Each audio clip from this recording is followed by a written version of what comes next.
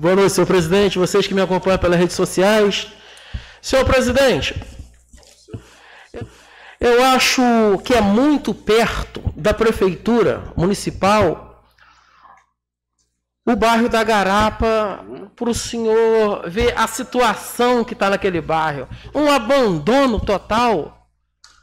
É, logo na chegada ali, quem vai para a oficina de Olavo, uma sujeira, tem que ter uma limpeza naquele bairro.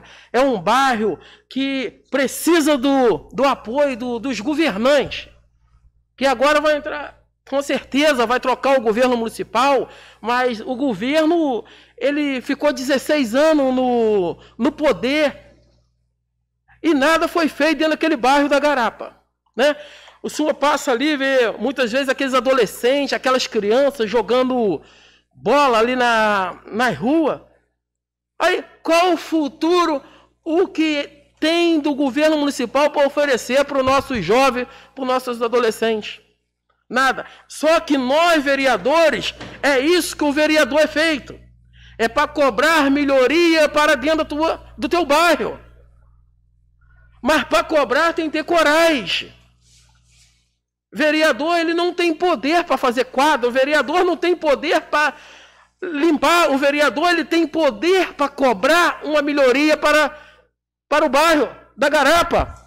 O senhor vai no, no torre da rádio, quantos anos a gente vem cobrando ali aquela rua reta, aquele piscinão do ramo que tem ali no torre da rádio. Quando chove, né, a água tem na casa da, do, do, do amigo ali. E, e vai indo. Só que não adianta, não adianta. O maior interesse, eu estou falando dos governantes, é fazer asfalto. Porque é o que eu falei, o asfalto. Sete horas da manhã começa, seis horas, vê centenas de metros de asfalto. E a população acha, aquela população que muitas vezes quer puxa saco do governo municipal, ele acha que o governo está fazendo. Quando vê um calçamento, você vê lá na torre da rádio, ficou Desde 2002 para sair um, um calçamento, um pedaço, onde o povo saía com uma sacola na, no, no pé. Pô, aí é uma brincadeira. Aí agora vamos dizer, falta um mês das eleições, né? Vai lá, calça tudo, e é bom. E, só que o governo está fazendo sim a parte dele, o trabalho, mas eu cobro sim, senhor governo, porque já era para muito tempo ser feito. É igual foi falado aqui também da creche lá da Vila Nova, que agora tá para começar. Para começar, não. Gastaram um milhão e pouco ali. O dinheiro não é do governo, não. O dinheiro é do povo que é jogado fora. O dinheiro é jogado fora, não tem interesse de lutar pelas nossas famílias dentro dos nossos bairros. É por causa disso que o crime ele aumenta dentro dos nossos bairros. Você colocando uma creche onde as crianças vão estudar, vai dar oportunidade para aquele pai, para aquela mãe trabalhar, levar o melhor para dentro de casa, para os filhos. É por causa disso os eleitores hoje estão ficando espertos. Você tem que ficar esperto sim, eleitor. Quem tem, vocês têm que empanhar. Porque quando vir para o plenário, eles não vão lutar para vocês, não. Quem oferecer, panha. Caso estiver aqui, época das eleições, que eu já fui eleitor. Aqui, me dá teu número, teu título aqui, porque você vota em tal sessão. Põe o, o, a condições financeiras que esse político vagabundo pilantra faz isso e não vota neles. Porque nossa cidade vão vir para o plenário e vão ser tudo contra vocês. Você vê o posto ali, o posto central? Desde 2016, desde 2012, lá atrás, lá onde o, o Judas perdeu as botas? O governo não precisa de, de hospital. Tem dinheiro para pagar hospital particular. E a população ele tem? Não tem, pô. Aí qual o crescimento? Qual o investimento na nossa população? Eu vejo pessoa, ô meu amigo, balança a árvore, aqui caía de vocês. Ia aqui ficar em pé do Messias. Porque Messias luta pela sua família. Messias cobra pela sua família. E, e é isso aí. Esse é o papel do vereador cobrar. Entendeu, senhor presidente Marcelo Resina? Está mais novo, né? Hã?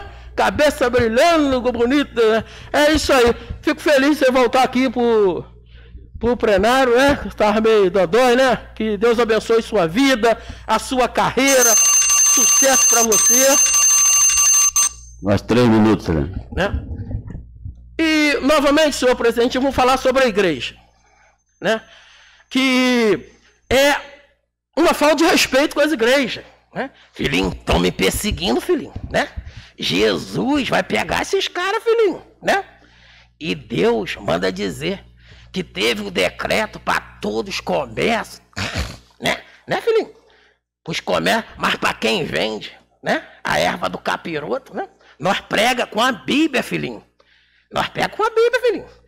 Mas quem vende a erva do capiroto pega com uma, uma pistola que sai bala. Ninguém vai lá perseguir, não, né? E a perseguição, ela existe. E tô no plenário aqui, um abraço aqui para as igrejas. Tem meu apoio que abre as igrejas.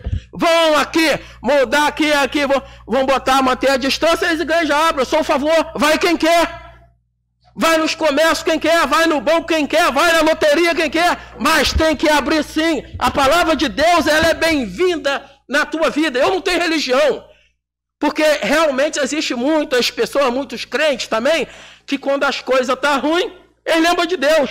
E quando está bom, abandona Deus. Deus precisa de você, como eu preciso também de Deus.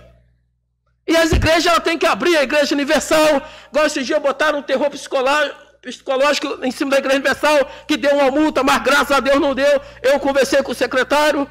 Não multa as igrejas, não. Sou a favor que abra todas as igrejas. A Igreja Mundial aí, né? Manda um abraço aí pro pastor da Igreja Mundial. A igreja aí da, da Vila Nova, ali do pastor Gilberto. Vão abrir as igrejas. Os bares não abriu? Por que não abre as igrejas? Os comércios não abriu? Porque as igrejas não abrem? Os colégios também. Sou a favor também que abra para as crianças estudar.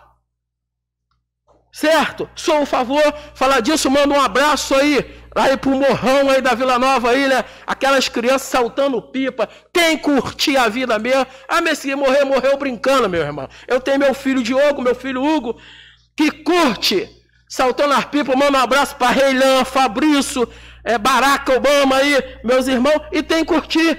Só que vocês não curtem, levando a linha com serão, que é perigosíssima né?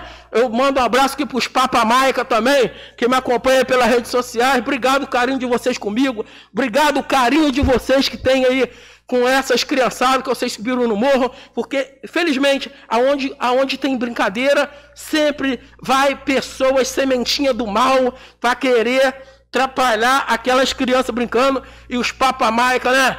Marcelo e Resina foi o Papa Maica, né, mano? É, eu. Uhum, vai vendo, hein? Aqui, e tem que, um bom policial tem que ser lembrado no plenário. Se os papamais subiu no morro porque estava preocupado com teus filhos, procurando segurança para os teus filhos. E tá de parabéns, as crianças têm que curtir, vão saltar pipa, mas cuidado com o ceral na mão, né? Valeu, Rodrigo Sabonete, Bruninho Sabonete, primo do Sandro aqui. Obrigado o carinho aí de vocês da, do bairro do Usina, do Conjunto Silvio Soares, de todos os bairros que foi para esse morrão curtir. Tem viver. Eu quero viver a vida, né? Mas para viver a vida você tem que ter vida. Se você não tiver, meu irmão, tem que curtir. Meus parabéns para as crianças, para vocês que apoiam meus filhos, para vocês que me apoiam. Sucesso para vocês. E para quem torce contra mim, o, o galho de árvore cheio de espinho para você, meu irmão. Um abraço. Que Deus abençoe vocês e tamo junto.